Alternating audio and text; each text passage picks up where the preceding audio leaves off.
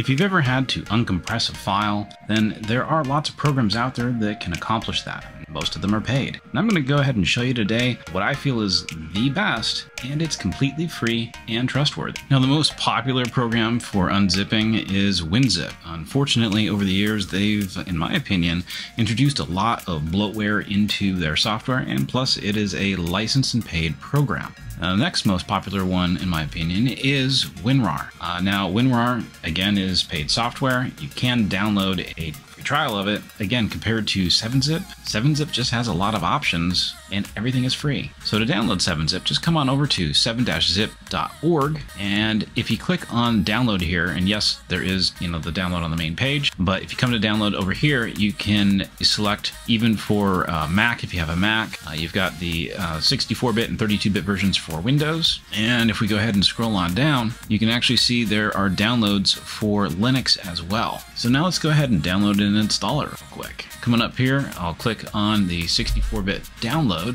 Go ahead and save that, and then just click on it and hit yes at the prompt. Go ahead and click on install and close. It is literally that fast to install. Now to show you how to go ahead and use it is if you have a 7-zip file or even just a regular zip file, on Windows 10 if you right click on it, it actually has a open with 7-zip, but here with Windows 11 you got to go down to show more options or just hit shift and F10 and now here is the context menu for 7-zip. Now if you go ahead and extract here then it will go ahead and place the file directly inside of the downloads folder which is where I have the 7-zip file located at. To make things a little bit more organized, you can go ahead and say extract to, and it will go ahead and have the folder name of the same as what your file is named that is zipped up. So if I click on that, it now went ahead and created a folder that has the contents of the zip file. Now you can notice the file size here is five kilobytes. And when I come into here, I actually have a README text file that is almost 1.8 megs. So if I go ahead and double click on it,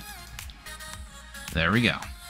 Now, if I want to go ahead and zip this up, I'm going to go ahead and right click on it, show more options or shift F10, come over to 7-zip, and if I say add to archive, then this will bring up a menu here. Now in this menu, we can go ahead and change the name of the file, and you can also see all the different archive formats that are available. This time I'm going to go ahead and just select zip so that you can see the difference in compression. I'm going to keep the compression level uh, the same, which is 9 in Ultra, and then just go ahead and hit OK. And now that zip file is 17 kilobytes, and if we look at the 7-zip instance of it, it is 5 kilobytes. So to me, this is one of the reasons why I really like 7-zip is that for most use cases, you can save a considerable amount of space when compressing things, but it depends on the data that is actually being compressed, so your mileage will vary with the different containers. Now, I hope you found this video useful and consider subscribing, and I will catch you in the next one.